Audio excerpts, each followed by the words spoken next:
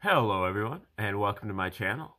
Uh, this is an educational channel. Uh, we look at a lot of uh, theories of everything and take, uh, you know, in-depth looks, and so that you can, you know, see the whole picture and maybe help you out with your um, paradigm shift, your great awakening, and just your life in general with some holistic uh, viewpoints. And today is our 428th video that we've done on Dewey B. Larson and his reciprocal system of theory. Uh, the reciprocal system is, of theory is a system of theory, meaning that it is a, a unified and generalized theory of every subject and if you understand how the system itself works, then you can apply it to any subject. And uh, Larson applied it to uh, mostly the, science, the sciences, uh, which includes economics. And he also applied it to psychology and philosophy and religion. Um, some of his followers applied it further afield to things like um, crypto history, uh, history, archaeology, uh, crypto archaeology, uh, conspiracy theories, and uh, other things like that. But um, it all started uh, back in about 1930 when Larson was a young engineer, and he had some epiphanies about uh, certain little chemistry pro, problems that he was working on and he recognized that he had uh, kind of stumbled into a principle of uh, general application, and so he uh, corralled his resources and uh, attempted to study up on that and figure out what was going on over the next 25 years. In the late 1950s, he put out his two fundamental postulates about how he believed the universe operated. And from that, he deduced a theoretical universe, step by step, if this, then that, if this, then that, um, and came up with a theoretical universe about, um, you know, what the universe would look like if his postulates were correct. And then uh, he wrote several books where he compared his findings, uh, you know, deriving equations for uh, different things, uh, how they stacked up against the legacy scientists' observations in the laboratory, in the observatory. And we're looking at one of those books today that's called Basic Properties of Matter. And this book is on Larson's uh, theory of chemistry. And uh, he derives different uh, equations for the basic properties of matter, such as the interatomic distance, the melting point, the specific heat, and the compressibility. And that's what we're looking at today, chapter four on compressibility. So, compressibility is basically, you know, how easy is, is it to compress something that's already in the solid state? Um, I guess you can uh, liquids are generally non-compressible, but um, a solid can be, um, you know, packed down. Um, certain elements can uh, be packed down a lot more than certain other elements. And uh, Larson arrives at equations for these. He had to set the groundwork for this before in these the first three chapters where he established interatomic distance uh, this is the distances between atoms in closest packing or in, in uh, the solid state. Um, legacy scientists believe that this these are um, this interatomic distance is actually the size of atoms. In Larson's viewpoint, um, the uh, interatomic distance is the distance between atoms, and that the atoms, uh, Larson's one of his early books is actually called The Case against the nuclear atom. So Larson believed that the atom was actually uh, not as big as um, legacy science has it, that there was uh, this bonding between the atoms, and they were actually very far away from each other. Um, and that the size of the atoms is actually the size of the nucleus that the legacy scientists measured. So the atom didn't have a nucleus. The nucleus was really like the whole atom. Um, I've read all of Larson's books except that one. So um, I'm gonna I'm uh, I've got it on tap here that I'm gonna read uh, that book and kind of understand where he's coming from there. But getting back to his theory, okay, we, we want to start with the uh, fundamental postulates. Larson's reciprocal system, he also calls it the universe of motion because Larson believed that the universe was made out of motion. And uh, many other uh, scientists and philosophers had arrived at that conclusion over the years, but none of them made, uh, you know, any headway uh, any major headway in developing that theory. Uh, maybe for two reasons. The first is that they uh, didn't define motion um, specifically or generally enough. Uh, what Larson says is that, first of all, it, this is not basically the motion that you're uh, envisioning when you think of motion, which is mo- mainly a vectorial motion, a motion in a direction. Uh, the car is moving 10 miles an hour north. Uh, that's how you think of motion generally, a magnitude and a direction. But Larson is talking about what he calls a scalar motion. And a scalar motion is a motion that has a magnitude, but it has no specific direction.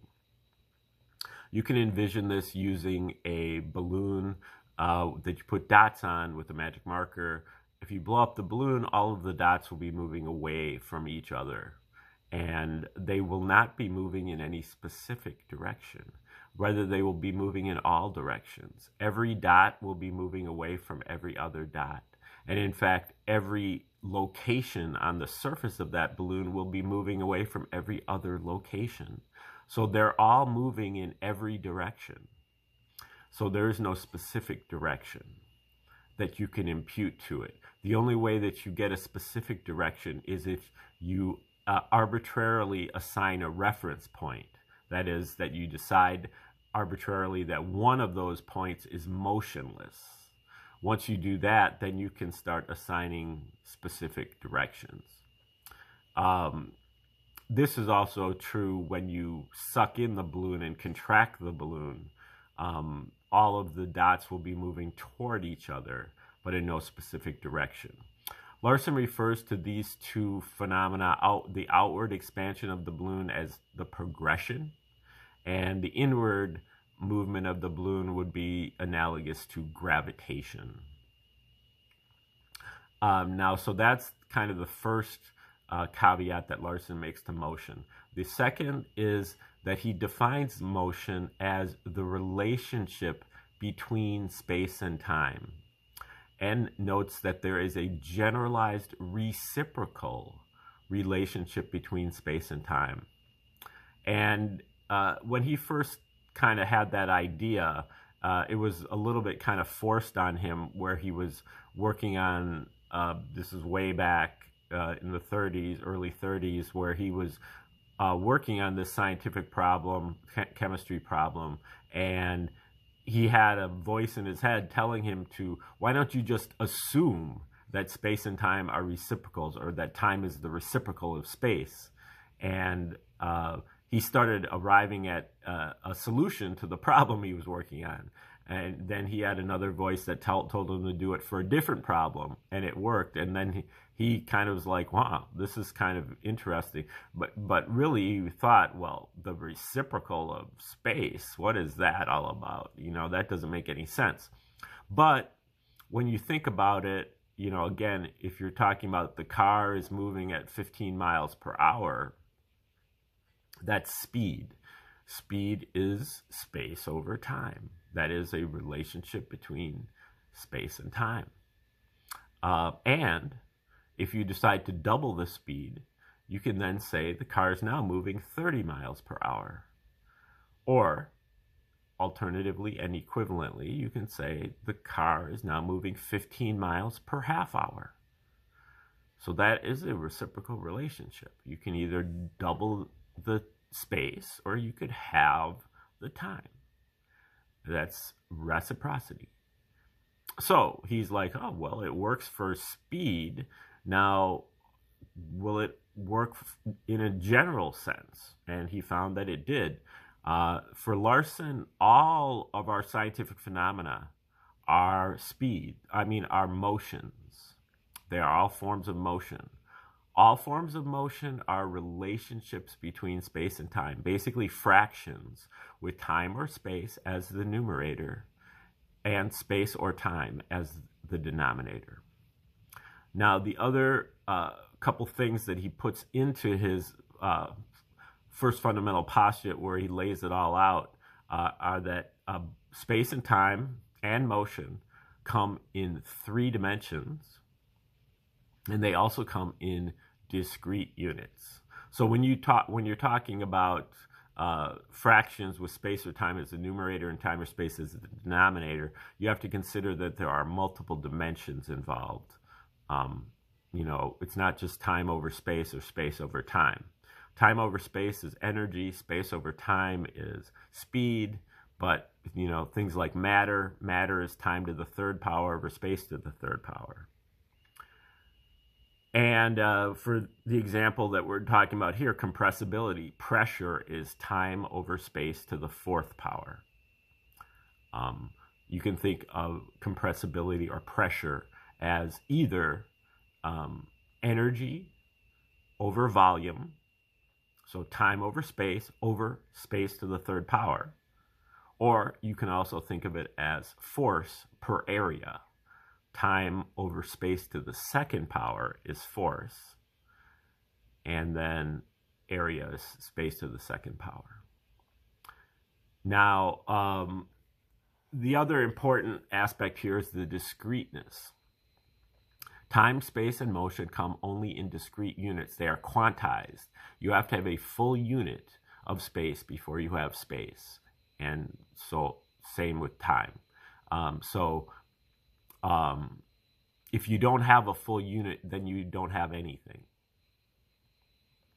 So uh, in Larson's system, you've got, if you have one unit of space in one unit of time, space over time being speed, you have uh, what Larson calls unit speed, which is also known as the speed of light.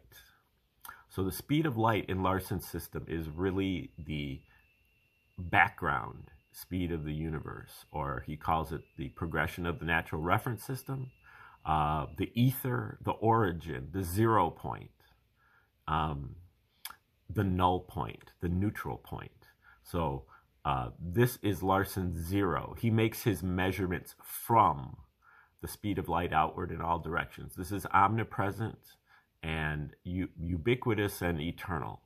It's always existing in an empty universe. So, in Larson's universe of motion, you have to be able to conceive of uh, motion before you conceive of anything moving. Motion precedes the thing that's moving. And actually, motion consists, uh, motion, motion comprises the thing that's moving. Um, for thousands of years, we've thought of the universe as being um, a um, drama that is occurring uh, in the background of space and time. That we are uh, going through our paces in uh, on a stage of space, and it is unfolding through time. But in Larson's universe, the universe itself is composed of space and time. It's not the space and time is not the container of the universe, but it is the contents of the universe. Now, um, so we've got this progression of the natural reference system as the neutral point That means half of the universe is moving faster than the speed of light, which goes way beyond the scientist's, um, you know, comfort zone. And then we, half the universe is moving slower than the speed of time, which is the half that we are accustomed to. We, as physical beings, are as material beings, are anchored to the spatial reference frame, this three dimensions of space moving through time, the the uh, kind of the container viewpoint. Larson calls that coordinate space and clock time. We are in a three dimensional still frame um, of space, and we are moving through time. Here in the what Larson calls the material sector, the slower than speed of light sector. But if we cross that unit speed boundary and moved into the cosmic sector, we would experience three dimensions of time in a still frame, what he calls coordinate time, uh, and clock space. Uh, space is always getting farther and farther and farther apart, a scalar motion of space, uh, just like on the surface of an expanding balloon. So coordinate space is like vectorial. Clock space, clock time is a scalar motion. And they uh, kind of are coupled uh, to one another uh, in these um, different sectors of the universe, the material and cosmic sectors. Now, within the cosmic sector and within the material sector, there are there are subregions that have to do with the discrete unit postulate as well. Uh, within the material sector, uh, we have what is called the time region. And the time region is the region of interaction in less than one unit of space. If you don't have a full unit of space, you don't have space. And so you have to have time because the universe is composed of space and time. So uh, if the atoms or molecules are interacting in less than one unit of space, they're interacting in what Larson calls the time region. And when you cross that boundary, that unit space boundary, into the cosmic sector, again, the rules change. And the progression is now inward in space, and gravitation is outward in space. Now, again, we are anchored to the spatial reference system. So we only see space, we don't see time. And so what Larson does is he uses an expedient, even though the activity is occurring in time, we see it as its inverse in space. He calls it the equivalent space. Um, and there are, there's an equation that he uses to make that translation. So uh, things that are going on in the time region are unobservable until we convert it into equivalent space. Same thing is true, but in the opposite, uh, uh, you know, in time instead of space in the cosmic sector. In less than one unit of time, you have what he calls the space region. And so the um, the time region and the space region are subregions of the cosmic sector and the material sector, respectively, and that um, these are the realm of atoms and molecules. Atoms and molecules are are basically uh, three number combination of rotations in Larson's system. They start with two photons at the core, uh, which are simple harmonic motions uh, which there is some dispute about where they come from, which we have talked about a little bit, but we'll talk about in much more detail later. And um, these wave like um, motions are uh, carried by the progression. That's why they always move at the speed of light. Um, but when they start getting rotated back uh, in an inward scalar direction, then uh, they have to be rotated back in three dimensions. Uh, but after being rotated back in three dimensions, then they begin to gravitate and they begin to move inward uh, on this expanding balloon. And that is how atoms form. So Larson uses a three number configuration instead of the, uh, you know, uh, atomic number of the periodic table. Okay, hopefully that's enough background to start getting into this chapter. I'm sure he'll get into some other stuff that we haven't talked about, but, um, you know, uh, just have to say again, though, even though this sounds very complicated, um, Larson's system is much simpler than legacy sciences because it's a unified. You know, if you if you learn this for chemistry, you can apply it for uh, astronomy. You can apply it for physics. You can apply it for economics. You know, once you learn how to uh, manipulate the system, then it applies to every subject. So you don't have to learn a whole new set of rules for every other subject. Okay, chapter four, compressibility. One of the simplest physical phenomena is compression, the response of the time region equilibrium.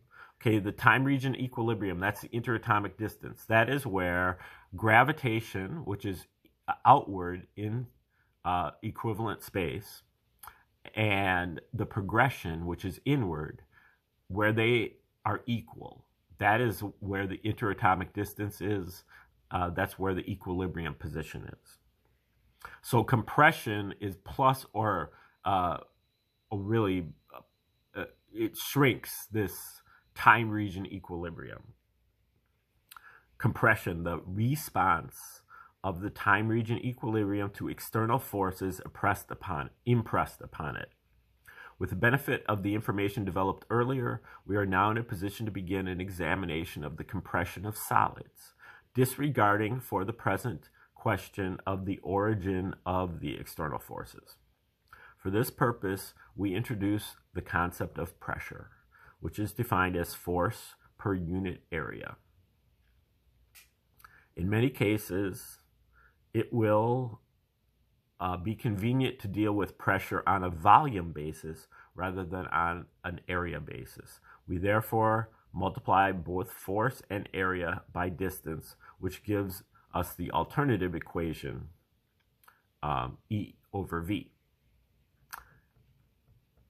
In the region outside that distance, where the atoms or molecules of matter are independent, the total energy of an aggregate can thus be expressed in terms of pressure and volume as E equals P times V. As we will find in the next chapter when we begin consideration of thermal motion, a condition of constant temperature is a condition of constant energy, other things being equal. equation uh, 3 there thus tells us that for an aggregate in which the cohesive forces between um, between the atoms or molecules are negligible, uh, that is an ideal gas. The volume at constant temperature is inversely proportional to the pressure. This is Boyle's law uh, one of the well established relations of physics. For application to the time region in which the solid equilibrium is located. The now, basically, the states of matter are established on uh, the time region. So, a solid is in the time region in three dimensions, in all three dimensions. Um, a liquid is in the time region in only two of the, its three dimensions. And a gas, a really a vapor is a um, is a solid is in the time region in just one dimension and a gas is completely outside of the time region in the you know in the time in the uh, material sector, what Larson calls the time-space region. But what he probably should have called the space-time region uh, again, Larson has to come up with the nomenclature, and it doesn't always work out perfectly. Okay, for application to the time region in which the solid equilibrium is located, the second power of the volume must be substituted for the first power. In the time region, we our relationships are based on the second power, not the first power. In accordance with the general interregional relation previously established. The time region equivalent of Boyle's law is therefore pressure times volume squared equals a constant. In terms of volume, this becomes volume equals a constant over the square root of the pressure. This equation tells us that at constant temperature, the volume of a solid is inversely proportional to the square root of the pressure. The pressure represented by the symbol P in this equation is, of course, the total of the total effective pressure. That is the pressure equivalent of all of the forces acting in opposition to the rotational forces of the atom. the rotational forces are moving outward in equivalent space. The pressure is acting in opposition to that. The force due to the progression of the natural reference system opposes the rotational forces. So the progression is also contributing to the pressure. Or it says, and acts in parallel with the external compressive forces but it has the same magnitude regardless of whether or not any such external forces are present. Okay, remember the progression is constant, outward at the speed of light in all directions, and then inward in the time region, uh, but at a constant. Whereas gravitation, uh, or what he calls the rotational forces, are variable depending upon this in, inverse square law. It therefore exists, uh, exerts. This is the progression.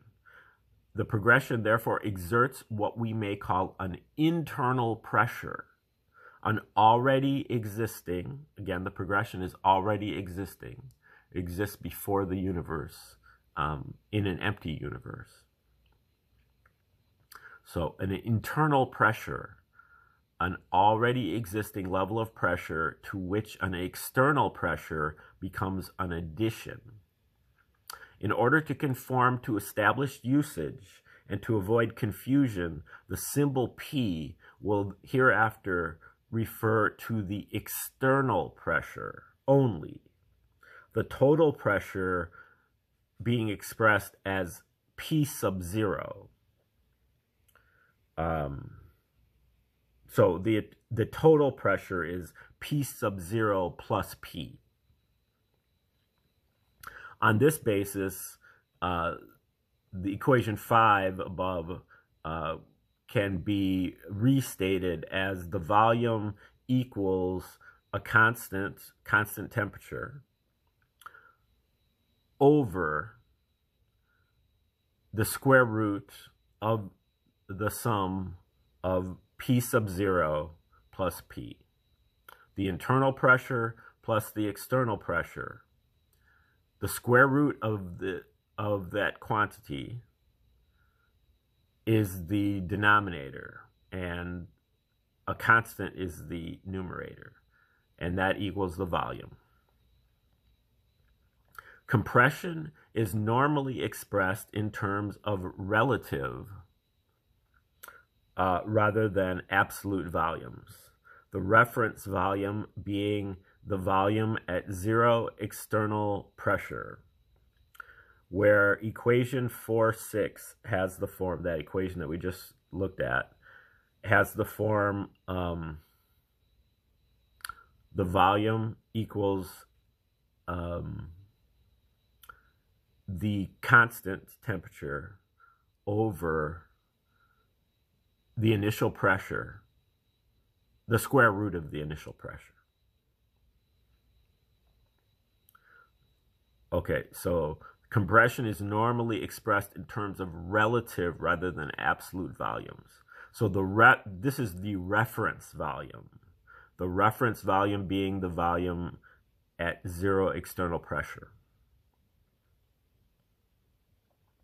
Dividing the equation uh, equation 6 by equation 7 and rearranging, we obtain volume over the initial volume equals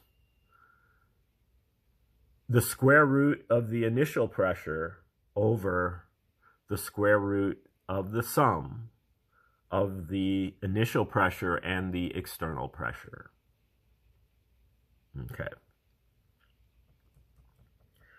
I probably took me 20 times reading that to understand it over the course of the years. Uh, I think I understand what he's talking about at this point. I'm not so good at algebra, and so uh, I I've gotten lost uh, in that many many times. But it actually does make sense, and I kind of get what he's talking about at this point. So you might want to try listening to that again if you if you got stuck. He only just, you know, hit us with eight equations right there. Uh, as this equation brings out, the internal pressure, P sub zero, is the key factor in the compression of solids. Okay, so, you know, in spite of looking at this external pressure for this chapter, really the internal pressure is, is where most of the pressure is applied. Inasmuch as this pressure is a result of the progression of the natural reference system, which in the time region is carrying the atoms inward in opposition to their rotational forces, or gravitation. The inward force acts only on two dimensions, an area, and the magnitude of the pressure therefore depends on the orientation of the atom with respect to the line of the progression.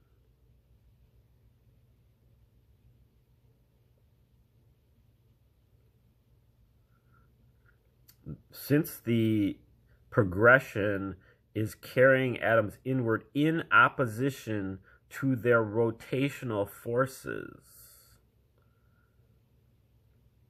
that for some reason that means that it's only only in two dimensions. Not sure that I get that quite yet. But again, you just got to keep going. But instead of keeping going, we're going to stop right there. And we'll start with this paragraph again tomorrow and see if we can make heads or tails of it then. Um, and uh, hang in there. Just keep going. We're going to get this.